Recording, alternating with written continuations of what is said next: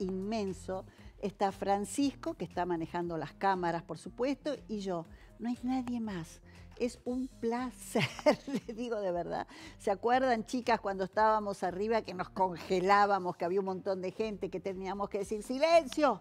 Bueno, es muy placentero esto, estar sola, bueno, sola, las espero a ustedes, por supuesto, pero con Francisco del otro lado, que es un amor, me, me guía, me dice, tenés la corbata torcida, todo, así que estoy feliz. Mientras que vamos a conectar a nuestro próximo invitado, que pedí especialmente que esté en este primer programa porque lo quiero muchísimo, porque me hace bien verlo, porque se va de los medios de comunicación por ahora, como digo yo, que va a ser el señor el negro González Oro, tan querido por todos. Les cuento una noticia, yo no sé si las puedo ver a, a Marce y a Adri, ahora no están en pantalla, pero que murió Bernie Madoff. ¿Se acuerdan de Bernie Madoff, el que hizo la famosísima estafa de 65 mil millones de dólares? ¿Qué cifra? Creo que es nuestra deuda externa casi. 65 mil millones de dólares. Él estaba preso. Eh, había hecho un defalco a las grandes empresas, a los millonarios del mundo. Uno de sus hijos, muy joven, murió de cáncer después de hacer una nota en televisión y que dijo que su padre había hecho que esa metástasis eh, por, por, el desfasaje que, que se produjo en ellos, porque él lo escondía a sus hijos y a su mujer. Y el otro hijo se ahorcó, o sea que perdió a sus dos hijos. Tremenda la historia. Madoff, que cumplía 150 años en prisión, murió en el hospital de, de la cárcel en Estados Unidos. Lo que es increíble que él le hicieron una entrevista, hay un periodista muy famoso que le hizo una entrevista y dijo que la codicia de los inversores lo llevaron al defalco, que venían a poner plata, a que le trabaje la plata porque se ve que los intereses eran enormes. Ahí la escucho a Marcela que está saliendo por algún lado y, este, y que decía que era la codicia, que les decía no inviertan más, no inviertan más, y que él sabía que iba a estallar, que cómo guardó el secreto a sus hijos y a su mujer, que envolvió y destrozó a su familia, porque destrozó, ay, se me cayó la cuca así, y que destrozó a su familia con todo esto. Bueno, eh, vamos ahora a recibir a nuestro querido, ah, otro tema, que quería decirlo, que estuvo muy en todos los canales, en todos estos días lo estuve viendo, la bebita Emma, donde Santi Maratea, un Instagramer, youtuber, todo lo que quieran, que lo quiero tener la semana esta, consiguió el remedio para Emma, esta bebita, que eran 2.150.000 dólares. La verdad que los que no sabemos, no sabemos qué remedio es, qué, hace, qué hace para costar lo que cuesta y a ver si conseguimos en esta semana, Rodo, hablar con su mamá. A ella, a Emma, la bebita, le están haciendo los análisis de sangre para aplicarle el remedio. Cuando se critica las redes y todo eso, también las redes, los Instagramers, los YouTubers, es, es, es un oficio porque logró, logró logró llegar a esta suma. Y ah, yo me entero de este caso por mi nieta, por mi nieta Ámbar, que me dice, Mima, Mima, a mí me dicen Mima, este, y me contó este caso y que ella había donado sus ahorros para esta bebita y me llenó de emoción y ahí me empecé a incorporar y a, saber de este tema. Bueno, Rodo, lo tengo, a las chicas no las veo, yo yo estoy aquí, tengo un gran monitor donde veo a Adri dividida la pantalla, como cuando nos veían el año pasado. A Marce en un lado, a Adri en otro, y ahora vamos a ver si ya está conectado, porque el negro tiene otro sistema, el negro González Oro, a quien amo profundamente. Hemos vivido, no lo veo al negro, ¿eh? Hola, mi vida. Hola. Hola, hola, hola, hola, linda, ¿cómo estás? Qué linda estás. Ay, gracias. Qué linda estás. Gracias. Te queda muy bien ese traje. Sí. ¿Traje de, de, Nachito? ¿De quién es? No, de Adri Costantini. No lo usaba ella, sino de su Ah. nueva colección con una corbata muy femenina, con strases y el. Sí. Hoy no me viste al principio, me lo hizo Rodo, así que eh, me lo hizo Rocco, perdón, Rodo mi productor, Rocco, Sí. me lo hizo al, mon- al nudo, así que acá estoy en esto que estaba contando hace un rato. Vos que eh, Sí. en este tiempo negro de mi corazón hablas mucho de la soledad, hablas mucho de lo que es reencontrarse, de todas esas cosas quiero hablar con vos. Estoy en un estudio Bien. inmenso, inmenso con Francisco, quien maneja la cámara. Esto que ves atrás mío es la biblioteca de mi casa, del comedor, que hay objetos que un día se los voy a contar porque cada uno significa algo. Se ha logrado una intimidad que me encanta, porque nadie habla atrás de cámara, uno se conecta más con el invitado, con mis eh, coequippers que están en sus casas, una en Estados Unidos. Bueno, negro, quiero hablar de vos, quiero hablar de tantas cosas, de abrazarte, abrazarte porque eh, se extraña el abrazo, aunque nos hemos comunicado mil veces. Eh, nosotros perdimos una persona que era parte de nuestra vida, era una gran amiga, era familia, era familia. Mm. Eh, a partir de eso los valores de muchas cosas cambiaron, de muchas cosas. Y el otro día hiciste un anuncio que estabas cansado del país, de la política, digamos, de estabas cansado de, trabajar tanto en un estudio, que te pasaste 35 años de tu vida eh, volcándote a tu familia y a la radio, en este caso. Pero ahora querés irte, querés terminar, querés jubilarte, dijiste, hagan una gran comida. ¿Cómo llegaste a esa decisión, negro? ¿Qué pasó en vos? ¿Qué, ¿Cuál fue la revolución interna que pasó para que llegues a esto? Bueno, pasó lo que decía recién, fue un año muy tanático, muy lleno de muertes, este, murió Sofía, nuestra querida hermana, amiga, mujer, era, era todo para mí y para vos también. Eh, murió Bartolomé Mitre, que fue un hombre que me dio el primer trabajo en Radio El Plata en el año, ni me acuerdo, pero hace muchos, muchos años murió Jorge Horacio Brito, que vos habéis tenido una relación muy, muy fuerte con Jorge Horacio. y un montón de gente, y este Cacho Castaña en la final del 2019. Entonces, eh, los balazos te pasan cada vez más cerca y yo me pregunté cuándo me iba a tomar el tiempo para mí, para Pablo, para Agustín, que están en Europa. Eh, y decidí casi en 24 horas, este, después de hablar con ellos, después de hablar con las autoridades de la radio, Rivadavia, que lo entendieron perfectamente bien, con mis colegas, con Daniel Haddad, que vos sabés que yo le consulto casi todo, lo que Yo también, ¿eh? Y, y todo, sí, sí, bueno, y me dijeron, este, si tenés ganas y no te vas a arrepentir, hacelo, y lo decidí. La despedida fue tremenda, pero Pablo, eh, el de Madrid, me dijo, dijo al aire, el último viernes que salía al aire, dijo, te prestamos a la gente de 35 años, ya es hora de que seas un poco más nuestro. Ay, qué divina frase. Qué, frase maravillosa, qué frase de un hijo lleno de amor y que lo debe haber padecido en muchos momentos. Pero bueno, ahora vas a... Decime, negro. ¿y sí, porque esta profesión, yo lo decía el otro día, esta profesión es maravillosa, nos dio mucho, nos dio todo lo que tenemos, nos dio popularidad, ganamos mucho dinero, etcétera, etcétera, pero también nos quita cosas, nos quita tiempo. Yo, vos sabés que iba a Europa, eh, algunas veces me la llevaba a Sofía, a ver a los chicos, estábamos seis días y volvíamos volando porque tenía que hacer radio y televisión. También te quita tiempo para los tuyos y, y, yo no sé cuánto tiempo, los balazos cada vez pasan más cerca, Marcela, cada vez pasan más cerca y, y, nadie sabe cuánto va a vivir y menos en un mundo lleno de pandemias, lleno de coronavirus, etcétera, etcétera. Entonces digo, no sé, como no sé cuánto voy a estar, quiero eh, lo que me quede, estar con los chicos, estar con mis hijos. ¿Y cuál es tu plan, negro, ahora? ¿Estás en el Uruguay, que no se puede salir? creo que no se puede salir, no lo sé bien exactamente. Eh, no, salir se puede. Europa está cerrado, Madrid está cerrado, pero bueno, estamos viendo la manera. Primero tengo que dar una segunda dosis de la vacuna, me la dan el martes 20. Ah. Aquí en Maldonado. Y este, después con el, con, el pasaporte sanitario ya empezaré los trámites para poder ingresar. Hay, hay sistemas de reunificación familiar, hay varias maneras de entrar a Europa, aunque esté cerrado Madrid, aunque esté cerrado Inglaterra, este, yo puedo viajar. Sin lugar a dudas. ¿Qué es lo primero que querés hacer con Agustín y con Pablo? Comer, caminar, comer, comer con ellos, siempre nos divertimos. Ellos de que son chiquitos decían que le gustaba salir con papá y un día le pregunto por qué, dice, porque comemos en los mejores lugares. este, Me fascina comer con mis hijos, son largas conversaciones, ya no son chiquitos, tienen más de 40 años, Pero bueno, vos, vos lo sabes mejor que nadie, son chicos, son mis hijos todavía. Es verdad, absolutamente. Nunca dejan de ser hijos. El otro día con la doctora, con Marcela Gotti, le hablábamos de eso. Nunca dejan de ser hijos. Negrito, estás escribiendo un segundo libro porque en tu primer libro, Radiografía de mi país, que es lindo título, ¿no? Es el libro que, Radiografía de mi país, tiene otro, otro título más, ¿no?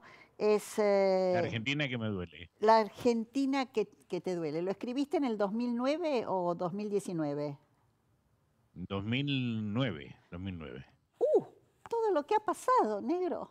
Esta Argentina te, sigue doliendo entonces. El libro termina con la asunción de Néstor Kirchner y de ahí en adelante tengo mil cosas para contar, mil cosas que he vivido, mil cosas que he transmitido. Este, la radio me dio esa posibilidad también de ser no protagonista del todo, pero un pequeño protagonista dentro de la realidad argentina y me sigue doliendo, obviamente me sigue doliendo. Me sigue doliendo un 47% de pobres, la cantidad de indigentes que tenemos, me sigue doliendo que la gente está con el corazón en la mano a ver si llegan las vacunas, si no hay vacunas. El otro día salió un artículo en Infobae que decía que si, eh, seguimos el plan que, que, estamos haciendo para vacunar a la gente, en nueve días nos quedamos sin vacunas. Y son, somos 44 millones de argentinos que están esperando, los viejos, los chicos, los jóvenes, los que salen a trabajar, la gente está esperando desesperadamente su vacuna.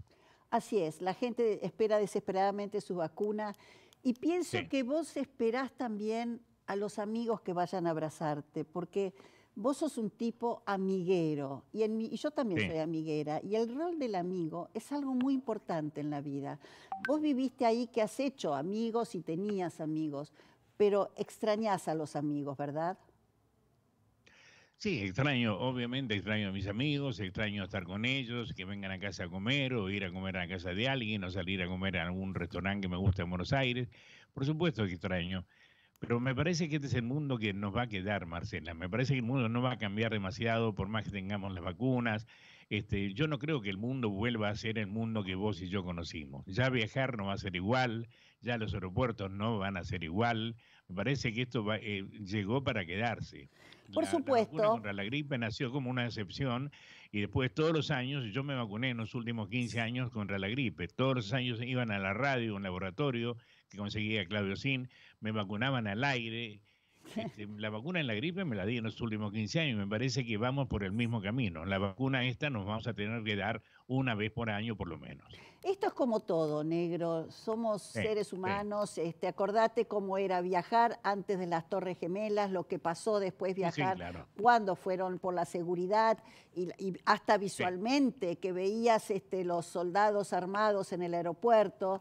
Bueno, esto va a ser con eh, gente de, salud que esté cuidando y para cumplir y los barbijos van a quedar largo tiempo con nosotros, largo tiempo con nosotros. Yo creo, a veces, a mí a veces, eh, vos en todo este tiempo que ha pasado, porque te he escrito inclusive y me lo has dicho, eh, nos preocupaba un poco tu soledad. ¿Estabas, ¿Llegaste a estar deprimido? No, llegué a estar eh, triste. Triste. Este, triste sí, deprimido nunca, porque este, yo tengo mecanismos de autodefensa, yo me conozco mucho ya, la edad que tengo, si no te conoces, porque soy un imbécil. Este, cuando estaba a punto de entrar en un periodo de depresión, este, nada, me iba a Colonia, en auto volvía, me voy a Montevideo, a Carrasco y vuelvo, este, no, no me quiero encerrado. Obviamente la soledad influye, claro que influye. Lo que te pasó a vos este, después de, la, de, la, de, estar contagiada es lo que se llama el estrés postraumático. después de una guerra quedan, quedan secuelas, después de esto van a quedar secuelas. La cantidad de suicidios que ha habido en el mundo ha aumentado terriblemente, pavorosamente. Digo, vamos a ver un mundo que desconocemos, Marcelita querida. Un mundo que desconocemos y dentro de ese mundo también está la soledad. Yo ya me acostumbré estar solo. Obviamente me gustaría tener una pareja, me gustaría compartir con alguien mis días, bueno, no lo tengo. Pero a varios este, amigos, a varios, sí, a varios amigos nos preocupaba tu soledad, ¿eh? no es que vas a hacer una locura, pero nos angustiaba porque te queríamos, que te sentíamos realmente solo, pero había una cosa que era muy importante, eso había sido una decisión tuya. En un momento dijiste, ¿por qué decidiste irte de la Argentina a Uruguay? ¿Qué fue lo que, eh, en la pandemia, la cuarentena, qué fue lo que te movilizó? Porque también estuve encerrado en San Isidro cinco meses, sin salir de casa, haciendo la radio de casa. Este, dije, bueno, si puedo estar encerrado acá, puedo estar encerrado en mi casa en Uruguay. Y me vine, me vine un poco enojado, en verdad porque me parece que hay, un, hay, una no, querías hablar del, ex ministro de, salud que dijo aquí no va a llegar, no va a llegar nunca. A los tres días teníamos coronavirus en Argentina. Me refiero a Ginés González. Eh, y alguien más, este, como yo hacía radio y tenía, y tenía información y, y, todo lo que llega a una, a una producción de radio, dije, bueno, esto va a ser un quilombo. Y fue un quilombo. En definitiva, fue un quilombo. Y no me arrepiento de la decisión que vino, porque la soledad estaba en Buenos Aires y también está acá. Claro, en este momento este, más. Y aquí tengo amigos, eh, hay amigos en común que están aquí, vos lo debes saber, lo sabés, obviamente. Sí, sí, sí, lo sé. Pero tampoco nos vemos mucho, porque nos quedó esta costumbre de estar encerrado, de estar solo. Lo que me, me apabulla, te diría, es el silencio. El silencio. Cuando el silencio me está haciendo daño, pongo música, y pongo un disco de vinilo que me, y, y, salgo, me subo al auto, pongo música y me voy. He hecho mini turismo, fui a Pueblo de Dene, he ido a Rocha, he ido a Minas, ah. he ido a lugares maravillosos en Uruguay. Pues claro, ya que no puedo viajar, me subo al auto y me voy a, Garzón por ejemplo. Y por ejemplo. me hace bien, me hace Pero por supuesto, ¿cómo no te va a hacer bien? Y vos sos un tipo que, por ejemplo, estás en tu casa, eh, te dedicaste a hacer cosas que no hacías antes, cocinar, por ejemplo, o seguir haciendo tu segundo libro. ¿Estás haciendo el segundo libro? ¿Tenés ganas? Sí, sí. ¿Sí? No, sí, yo escribo, me, he puesto el método, aprendí varias cosas. Primero, usar un lavarropas, que no, no sabía. Segundo, hacer las compras, porque yo salía y compraba, acá hay una tienda inglesa de Navarra. Ah este, chiquita, la más chiquita. Es un vicio. este, iba y compraba, iba y compraba como si tuviera una familia de cinco personas. Tenía María, que es la que me ayuda en casa, y me decía, esto está vencido, esto está vencido. y a mí me educaron con la costumbre de que la comida no se tira, y me daba mucha bronca. Entonces ahora voy todos los días a comprar lo que voy a comer hoy. mañana lo que voy a comer mañana. Voy, voy al almacén como cuando éramos chicos, que iba todos los días. Bueno, voy todos los días. Lo que se consume en el e, Esas son las cosas. Sí, sí, claro. ¿Para qué voy a comprar este, mucho fiambre si estoy solo? Yo con dos sándwiches estoy listo, ya está. Anoche cociné, hice arroz con mayonesa y jamón crudo, todo mezclado, este, me salió genial, por ejemplo. Qué ricor, pero era frío. Comida. me encantó. ¿Y, cómo está la temperatura ahí? Está muy lindo el día, está transparente, hay solcito, venimos de días de mucha lluvia. Eh, el aire está fresco, el aire está fresco, pero para salir a caminar, como salí esta mañana, aprendí a caminar, cosa que no hacía ah, en Buenos muy Bien. Hoy caminé dos horas, caminé dos horas. Vos conocés mi casa, sabés que de aquí manantiales, sí. hay trecho largo, fui a la farmacia a buscar un remedio, fui a pie y volví a pie. Pero muy bien. Algunos de los autos que me conocen me aplaudían. Igual allá la gente te ama, la gente te ama, seguir recibiendo. Cuando se decide dejar, cuando se decide poner ese término que pusiste que no me gusta porque es jubilarse, cuando es más importante lo que vos hiciste, porque la jubilación viene, llega solo. Vos decidiste por motus propio, con un hombre de éxito conocido. ¿Qué se siente al otro día cuando uno se levanta? Uy, hoy no me conecto. ¿Cuál es la sensación?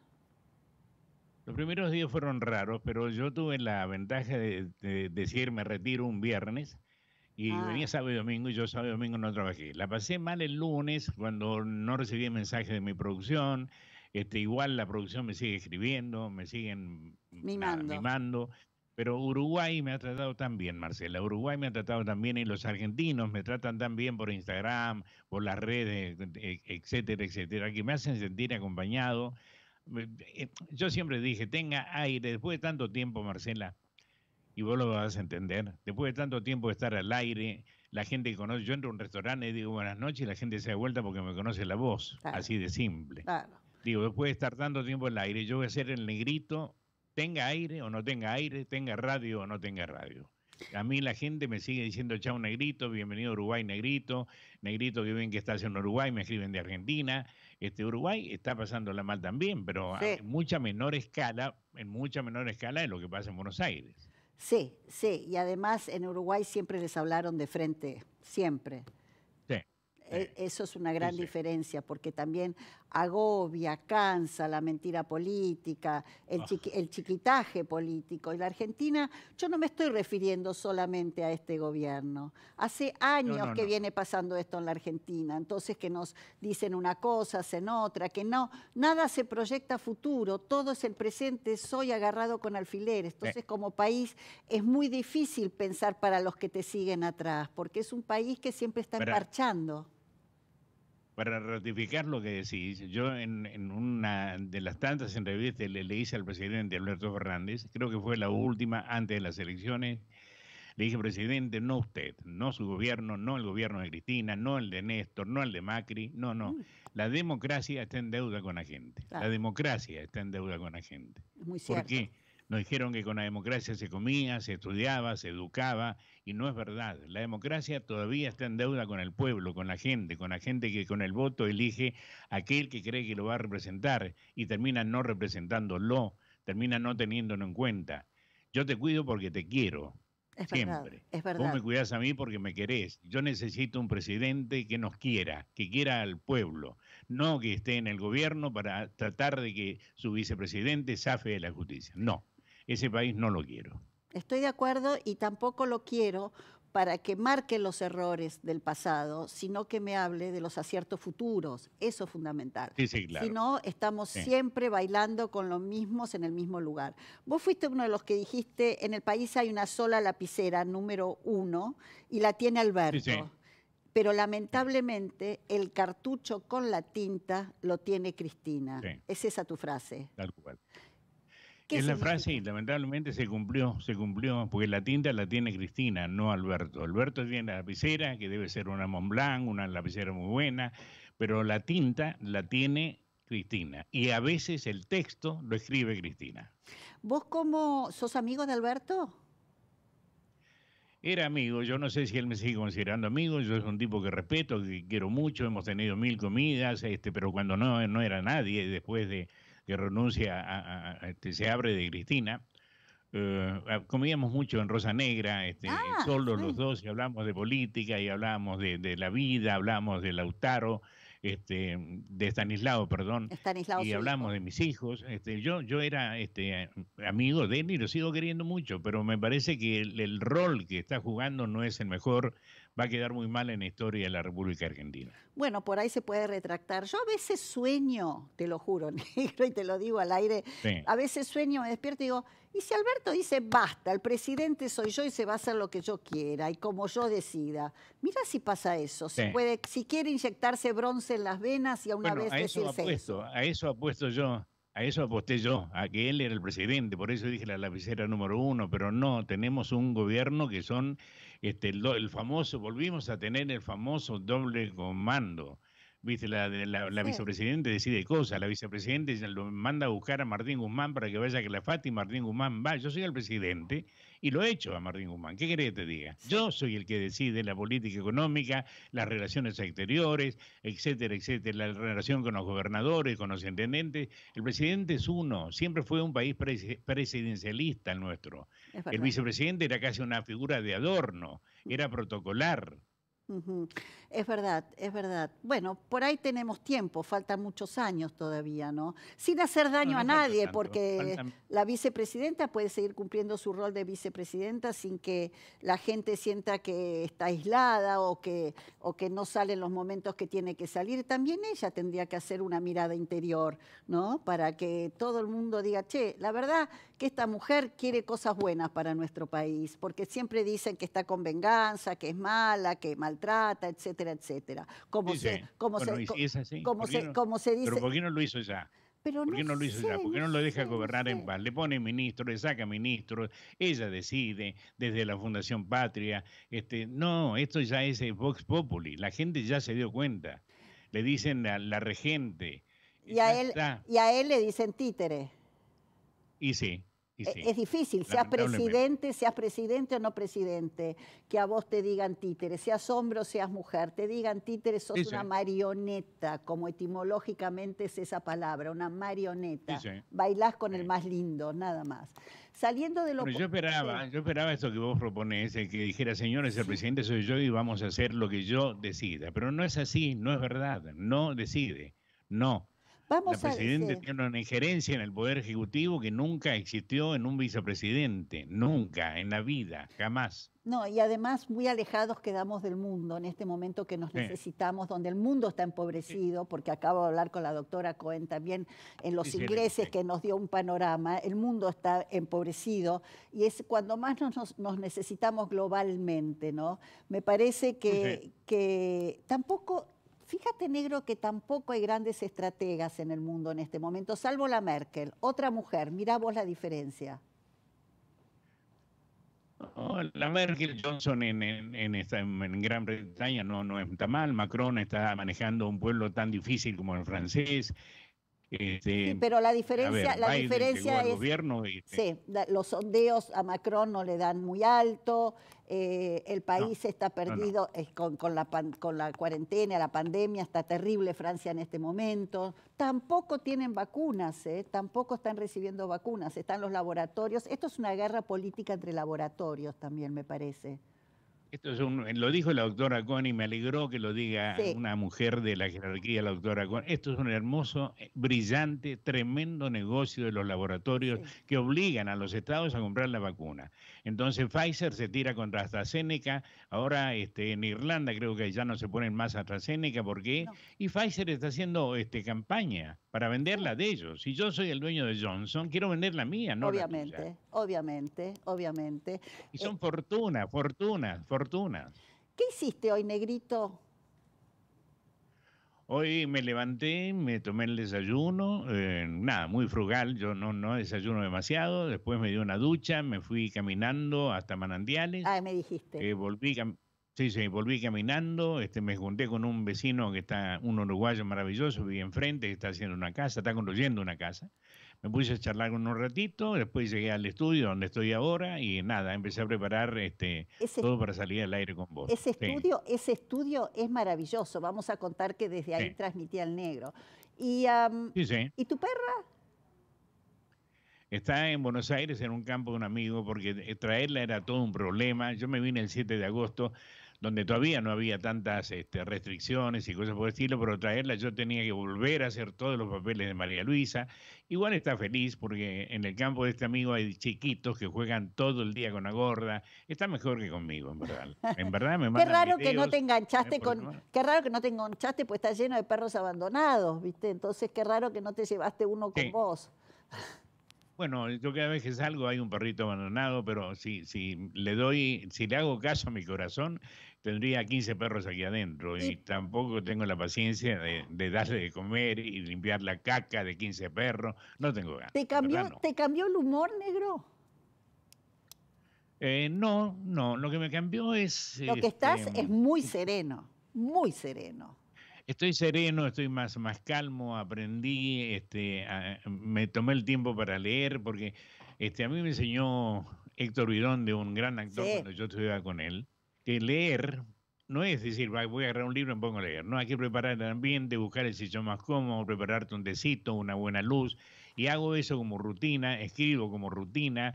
Ahora, mm, por la muerte del príncipe de, Edimburgo, el Felipe, este, volví a ver, estoy volviendo a ver The Crown, que me parece una serie ah, maravillosa. No sabes que no la vi, no la vi, tengo que verla. tenés que tenés que verla porque es maravillosa. El otro día hablé con un amigo en Panamá que tiene que ver con Amazon y le digo, ¿cuánto costaba cada capítulo de, de, Crown? 10 millones de dólares. y se nota. Y se, nota. notan en la pantalla. Se nota, es impecable. Todo el mundo que la ha visto me ha dicho que es impecable. ¿Sabes? Se murió el príncipe de Edimburgo. También otro hombre que le decían el, príncipe consorte, el títere, todo eso.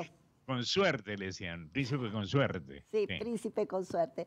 Negro, eh, gracias por estar. Pedí especialmente que estés en este primer programa porque necesitaba de, tu amor. Siempre, de tu estuvo en los primeros programas. siempre estuvo en los primeros programas. Sí, Estoy muy feliz, muy feliz. Y ojalá pronto te pueda ir a abrazar. Este, cuando se pueda cruzar, voy a ir. Ojalá. Este, te espero, te extraño, este, nada, también soy parte del, paisaje de, de, mi circunstancia chiquita, era Sofía, eras vos, era Tete, bueno, y, este, y las extraño, en verdad las extraño. Vamos a ir a llenarte de besos, te amo, te quiero, gracias negro por estar en nuestra quinta temporada, el primer programa de las rubias, gracias mi amor. Muchas gracias a ustedes. Mandarle un beso a las rubias también, ¿eh? Le voy a decir. tenés que enseñarle que no te ven porque no quieren, porque pueden poner en una pantalla ah. YouTube Caseta O en vivo y te ven en vivo. Ah, mira. Aunque le pongan el volumen. Ay, ahí está, ahí está. Tengo que enseñarles todo, tengo que no, enseñarles son, No, son chicas grandes, ¿viste? chao, Negri, te amo. Chao, mi amor. Ya te voy a ir a abrazar. Chao, mi amor. Chao, chao. Chao. Ay, qué gran persona, qué decisión, qué decisión alguien que es exitoso en la vida, decir, hasta acá llegué, hasta acá llegué y la verdad que quiero ahora compartir, estar con mis hijos, compartir otras cosas de la vida. Muchas de las cosas que dice él me han pasado.